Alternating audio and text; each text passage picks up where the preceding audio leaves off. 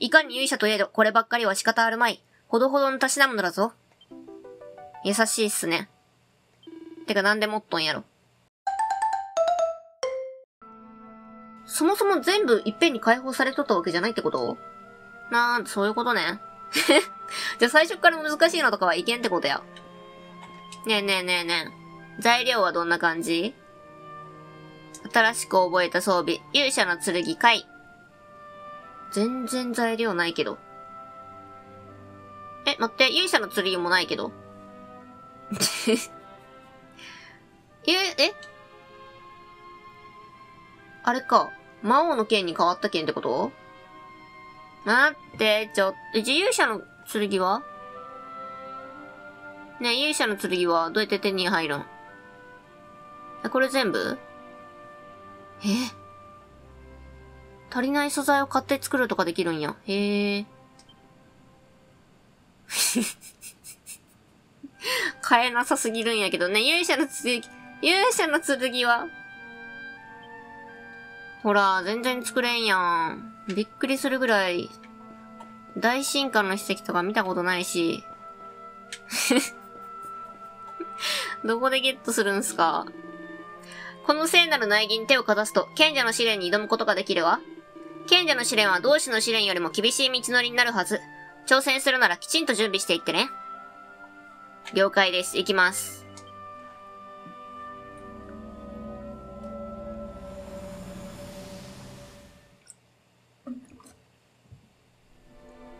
さて次はどこのマップかな遠いよね、これわざわざ。狭間の霊道。ここぐらいなんか、ビュンって行きたいんやけど。はい、来た。賢者の試練、不惑の森。森やって、森。どこ？あ、これ、あれがない？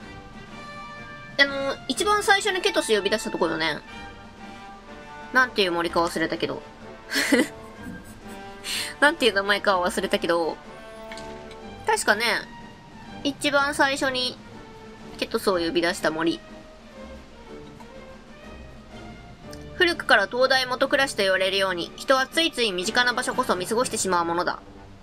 次へ進む魔法陣が見つからないなら、この森を最初からくまなく探すと良い。探し物は意外とすぐ近くにあるものなのだ。最初から？なんか魔法陣いっぱいある？ねえ、ワープポイントいっぱいあるよ。そういうこと？ってことは、一番最初の、どっちが一番最初やろ？とりあえずどっちかに入ってみるか。で、すぐ横から出てきたりして。はい。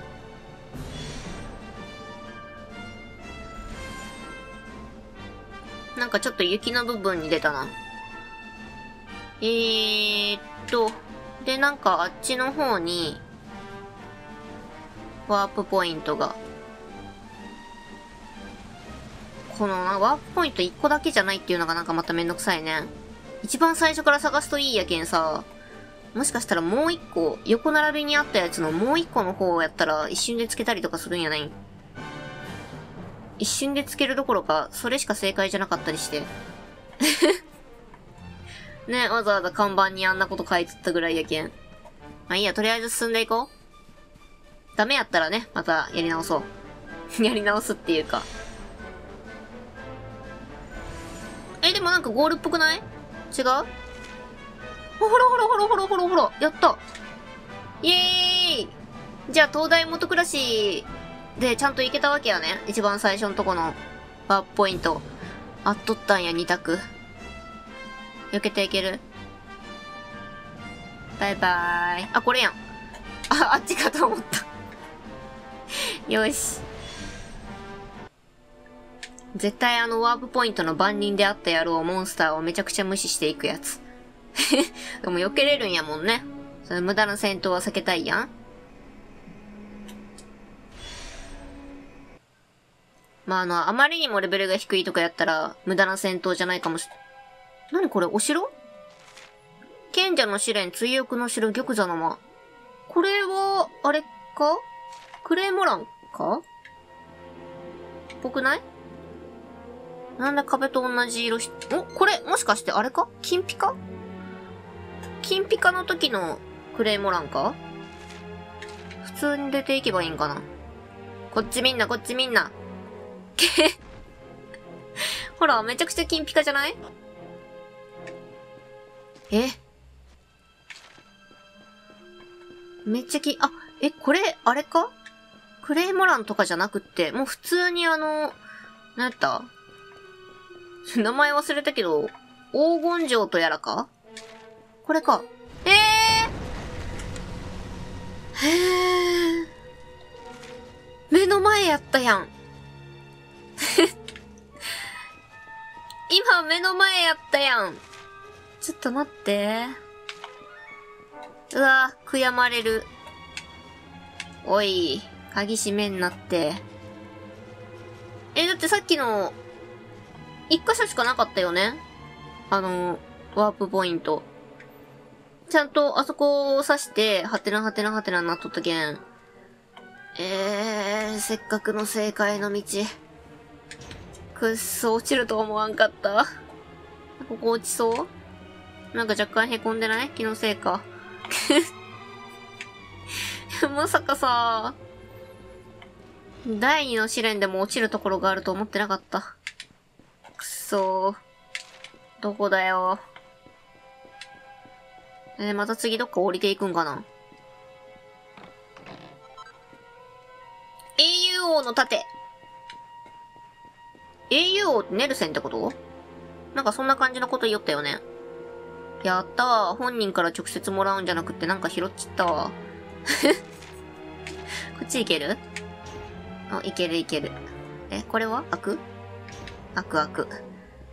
えー、っと、え、今一瞬踊ってなかった？え、こっちかな？え？いや、わからん。あはあかんかった。あれ、じゃあここは違うってことか。ん？こっちは？ここ行ってないとこかな？くっそー。悪趣味な壁の色しやがって。え、てかマジさ、マジあの、あれは？これ来た方向？違うよね。あの、一番最初の場所はどこですか？あの、一番最初の、もうあと一歩ってなった、あの、ワープポイントが一切現れんねえけど、マジどこ？ここ1階ってことは、え、3階とかってこと？じゃあどんどん上がっていかんといかんのや。こっち側は？だってそうよね。玉座の間から出たとこやったもんね、なんか。ここは？開く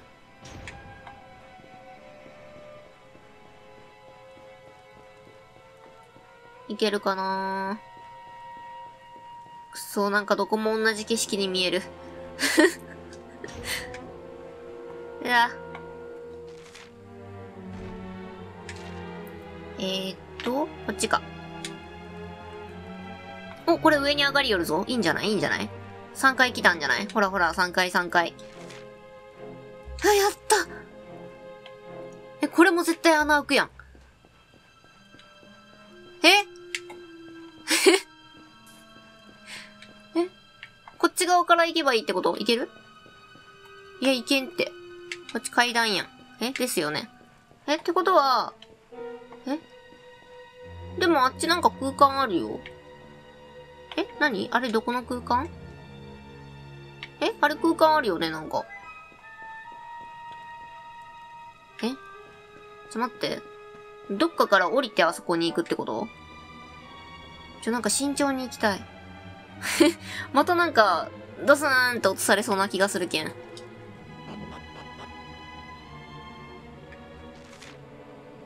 玉座の間に来た。え玉座の間に来た。でもここ別に関係ないよね、きっと。あ、そっか、最初ここ。ここスタートやったんか。なるほど、なるほど。え、じゃあどこだよ？とりあえず一旦また落ちるしかない？え、落ちるよね、これ。ですよね。わかってたよ。わかってたよ、落ちるのは。これか？上がる。これで、次ここ上がってたらいけるんじゃない？え？あ、これいけるんやない？いけたやないこれ。え、多分いけたいけたいけた。これあの空間やろ？多分。あの向こう側から見えとった。ここ開けて、いや、もうね、ずーっと見えとった場所に、たどり着くまでがめちゃくちゃ長い。ほら、これ。来た。ー。来た来た。そろそろボスなんじゃないかなって思うよる。ねもう結構なマップ、こなしてきたと思うんやけど。えっと？一箇所？二箇所？二箇所ぐらい？か？三箇所ぐらいか？よし、してきた。ネルセンの迷宮最新部。あ、全部ネルセンなんやね。そっかそっか。いや、セニカの間って書いあ、それはゾウだけ？おるのは全部ネルセン。勇者あゆなよ。よくと賢者の試練をくぐり抜け、ここまでたどり着いた。我が最終試練を乗り越えれば、お前の願いを一つ叶えてやるぞ。試練に挑戦するか。はい。よろしい。では早速試練を行うぞ。これから現れる敵と戦い、勝ってみせよ。30点以内に勝つことができれば、お前の願いを一つ叶えてやろう。難しさがアップするけん、やっぱり、あの、手数も増えるんやね。よし。行きましょう。こいつあれか。ムーレアの時のやつか。襲いかかってきよったやつじゃない？30 30以内ね。確か頑張れ頑張れ。頑張るんだみんな。めちゃくちゃ人ごとやけど。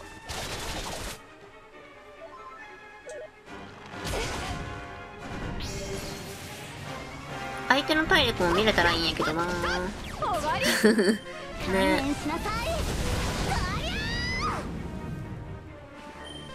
ありがとう。きっとこれからですわ今何手ぐらいなんやろひえあやった思ったより早かったフンヌの怪獣をやっつけたアイナよ、見事な戦いぶりだったぞ。これで30点以内に敵を倒していれば、試練は突破となる。さあ、今回の結果は。おー、見事だ。13手で敵を倒したぞ。よくやった、アイナ。お前は自らの恐怖に打ち勝ったのだ。まあ、今のところ半分以下ぐらいでちゃんとこなしていきよるね。さあ、約束通り、お前の願いを一つ叶えてやろう。叶えてほしい願いを選ぶがよい。まああれか、二つ以外は全部叶えてもらえるわけやね。ふん。最上位のレース、エッチな本、聖ニャの髪型、幸せ。うーん、やっぱ幸せになりたい気になるよね。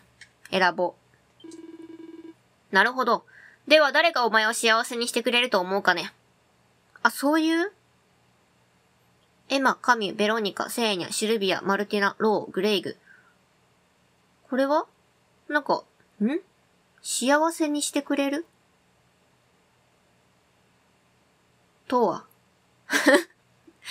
何？どういうこと？どういうこと？ん？でもなんか仲間だけじゃなくてエマが入っとるね。幼馴染の子やろ？なんなんやろ？エマ、カミ、ベロニカ、セーニャ。結婚って、えでもな。同性もおるね。まあでもそっか。そういうのもありってこと？そういうのもありってこと？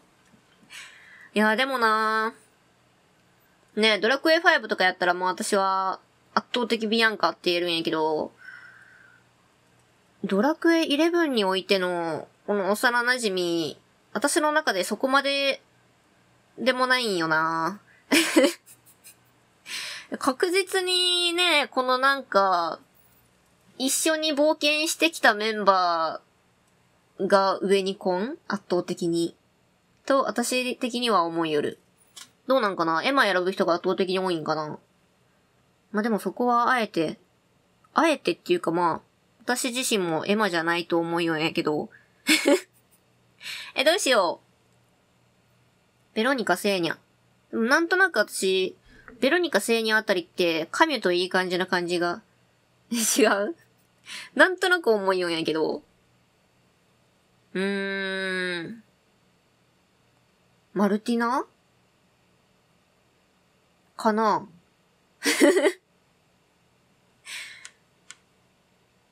あれやね、直前で。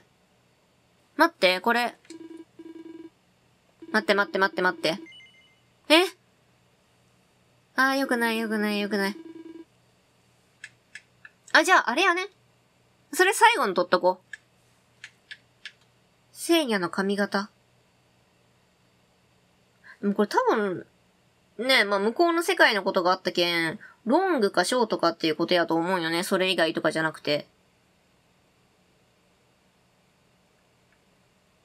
よっしゃ、ここはもう、ネタ的な意味で、エッチな本が読みたい。お前も隅に置けるな。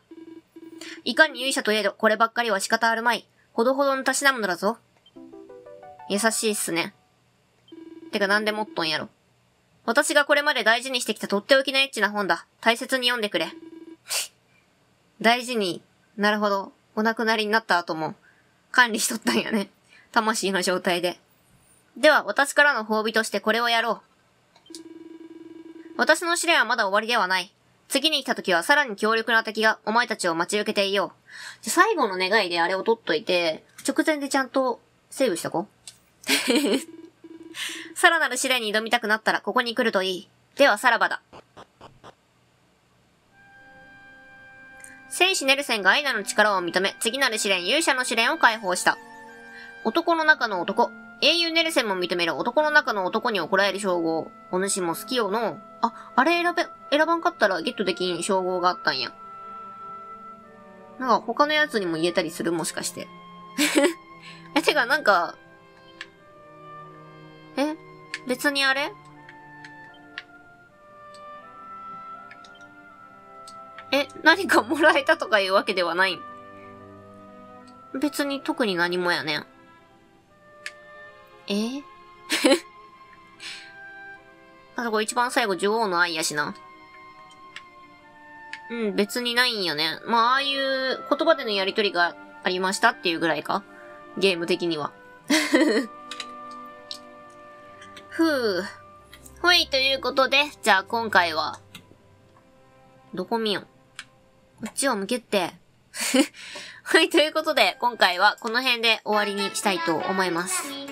最後まで見てくださってありがとうございます。